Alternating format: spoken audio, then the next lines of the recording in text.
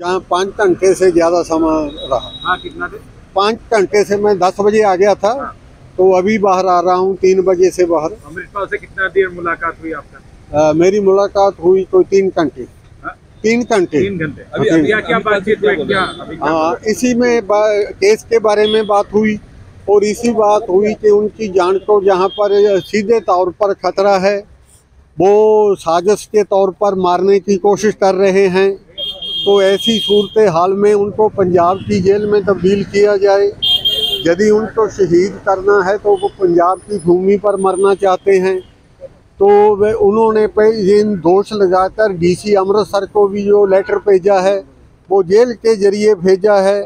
तो ऐसे ही सूरत में जो है, वो कहते भी एनएसए, जो है, एनएसए की बात है तो एनएसए भाई अमृतपाल सिंह की तेईस जो तेईस अप्रैल तक है जो एक साल होना है, दूसरे जो हैं, उनकी अठारह मार्च तक है।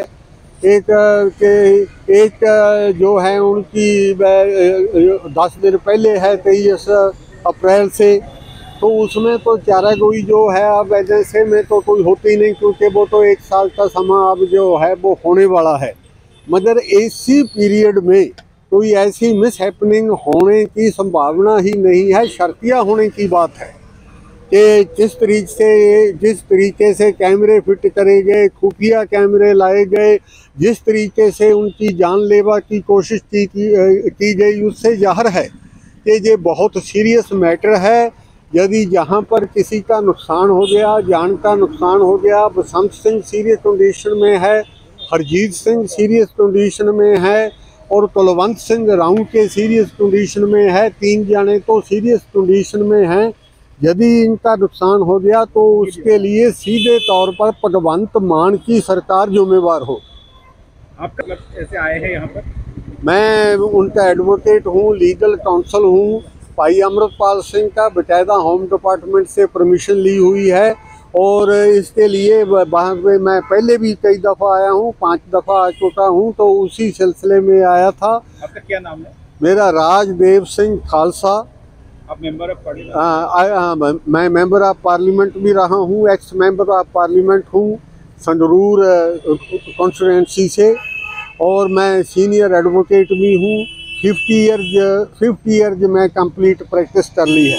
आप ये बोलना चाहते हैं जानलेवा हमला तो जब खुफिया कैमरे लगा दिए वो बाहर मुलाकात के लिए आए थे तो उसमें खुफिया कैमरे उसमें लगा दिए गए बाथरूम में भी लगा दिए गए तो जानलेवा हमला तो किसी समय भी हो सकता है, जहर दिया जा सकता है।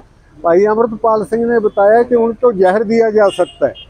उनको, जो बाकी हैं, उनको भी जहर दिया जा सकता है। कुछ भी कर सकते हैं, क्योंकि जेल ऑफिसर की इंफॉर्मेशन के बजाय ये पंजाब गवर्नमेंट ऐसे ऐसे काम कर रही है, जिससे साफ़ है कि उनकी जान लेने की कोशिश की जा रही है। और जो तीन आदमी सीरियस हैं उनकी किसी समय भी जान जा सकती है और that shall be very serious matter वो बड़ा सीरियस मैटर होगा। उन लोगों के है ना सोलह तारीख को तो डीसी को उन्होंने जेल के सुपरडेंट को ये लेटर दे दिया कि मैं मुलाकात के लिए गया था। जब मैं वापस आया तो मेरे खुफिया कैमरे लगे हुए थे। वहाँ पे जो फ़ोन खुफिया फ़ोन लगे हुए थे और बाथरूम में भी लगे हुए थे। वो हमारे कब्जे में है तो आप तो दे रहा हूँ कि के खुफिया कैमरे हैं। तो सत्रह तारीख को जब ये अखबारों में आ गया पब्लिश हो गया तो सत्रह तारीख को उन्होंने झूठी कहानी बना ली कि इनके पास से बरामद हुए हैं। ये तो ये लेटर सत, उन्होंने जेल के जेल डिपार्टमेंट ने अपनी स्टैंप ला कर दिया भी हमें सोलह को मिल गया था। जब सोलह को उनके पास था उन्होंने जेल वालों को बता दिया था कि फिट कर दिए तो सतारह को रिकवरी कहाँ से हो गई? सतारह को बरामदगी कहाँ से हो गई? ये मुकम्मल तौर पर झूठ है कि उनसे कोई कैमरा मिला कोई स्मार्टफ़ोन मिला कोई और मिला? मुकम्मल तौर पर झूठ है ये, लेटर किसको दिया है अमृतपाल ने? ये मेरे को दिया जी। आपको दिया हाँ। ये जेल के परमिशन के साथ दिया। अमृतपाल ने दिया है? हाँ, अमृतपाल से अमृतपाल सिंह ने दिया है। उन्होंने जेल वालों ने कॉपी करके फिर मेरे को दिया। थ्रू जेल लिया लीगल लीगल है। है ये लेटर एड्रेस किया है to to jail superintendent to असल में एड्रेस किया था टू डीसी अमृतसर। इनको कापी करा कापियाँ करा लिया हैं? आज मुलाकात की थी अमृतपाल सिंह से। क्या हाँ आज मैंने भाई अमृतपाल सिंह जी से मुलाकात की है। मैं उनका लीगल काउंसल हूँ। और जो परमिशन जो दी हुई है, उन्होंने होम डिपार्टमेंट ने मेरे को लीगल काउंसल के तौर पर ही उन्होंने परमिशन दी है। तो जो पिछली दफ़ा ये एपिसोड हुआ है, उसके बारे में भी वृतांत हुआ, विस्तार से बात हुई। और उसमें उन, भाई अमृतपाल सिंह ने उन मेरे को बताया कि इन्होंने जो है कौन थे वो लोग, जिन्होंने वहाँ पर खुफिया कैमरे, इनको सीआईडी कैमरा कहते हैं, इनकी जो बैरक है उसमें फिट कर दिए। और जहाँ तक के बाथरूम में भी जो वो सीआईडी कैमरा थे, वो फिट कर दिए गए।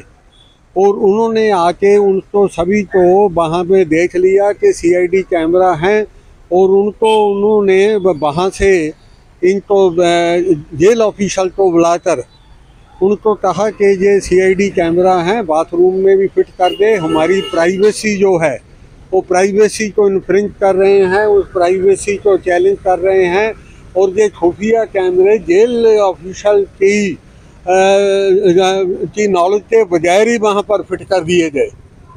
तो जेल ऑफिसर ने माना कि ये वो कैमरे हैं।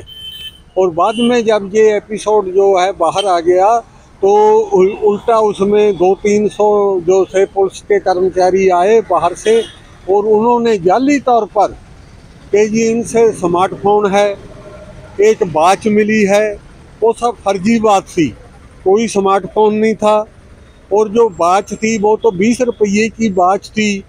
वो किसी ने कोई बच्ची आई थी, वो मिलने आपके तो उसमें दी थी, उन्होंने जेल में ऑफिसर जी ने कहा था जी यहाँ पर भूल गए हैं, आप रख लें।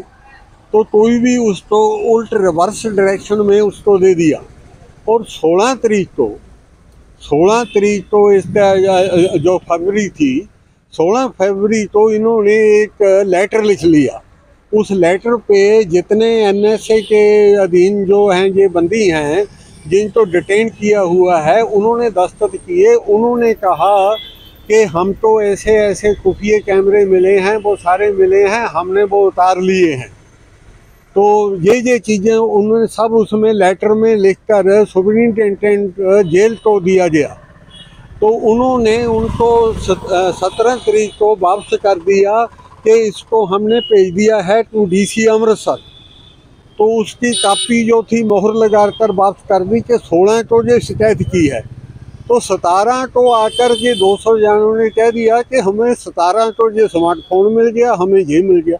वो जो जितनी डिवाइसेज मिली थी, वो तो सोलह को ही उन्होंने कर दिया था। कि सोलह तरीक को ही उन्होंने लेटर में लिख दिया था। तो सतारह सौ सतारह सौ सत्रह तरीक को वो कहाँ से मिल गई? तो ये बात जो थी ये फर्जी बनाई हुई थी। तो इसके बारे में अब जो है वो हंगर स्ट्राइक चल रही है। मैं आपको ये बताना चाहता हूँ कि एक बसंत सिंह है जो डिटेन्यू है जिसको डिटेन किया गया है बसंत सिंह उसने पानी पीना भी बंद कर दिया है। कितने दिनों से? सोलह तारीख से। क्यों बन गया इसलिए किया कि ये जाली बना रहे हैं, बाथरूम में भी लगा रहे हैं, ये हमारे में खुफिया कैमरे लगा रहे हैं। जितनी, इतनी इनकी है कि जेल के ऑफिसर को बिना बताए ये काम कर रहे हैं तो कल को हमारे तो रोटी में जहर दे सकते सकते हैं, कभी भी मार सकते हैं। हम मरने के लिए तैयार हैं, मगर जब हम मरना पंजाब की भूमि पर चाहते हैं, जहाँ पर तो जाती है।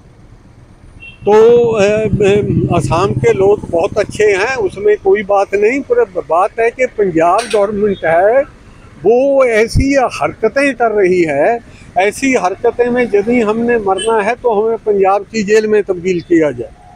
किसी जेल में रख लिया जाए पंजाब की जेल में। हम वहाँ मरने के लिए भी तैयार हैं, शहीद होने के लिए तैयार हैं, कुर्बानी करने के लिए तैयार नहीं, ज़बरदस्त नाराज़गी है।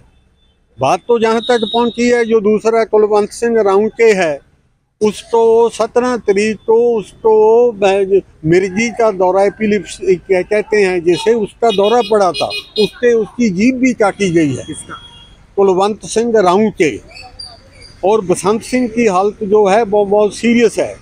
और हरजीत सिंह हैं एक जो के चाचा हैं अंकल हैं इनके भाई अमृतपाल सिंह खालसा के। उनकी शुगर कम होनी शुरू हो गई है। शुगर के मरीज़ हैं इसलिए बड़ी सीरियस कंडीशन में हैं।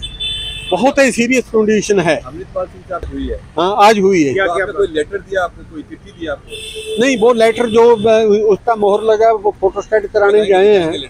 हाँ वो लेटर ले ले कर आ रहे हैं वो लेटर अमृतपाल ने दिया है ये हाँ हाँ हाँ उन्होंने दिया है तो हाँ उस में है हाँ वो उन्होंने 16 16 तारीख को जो डीसी को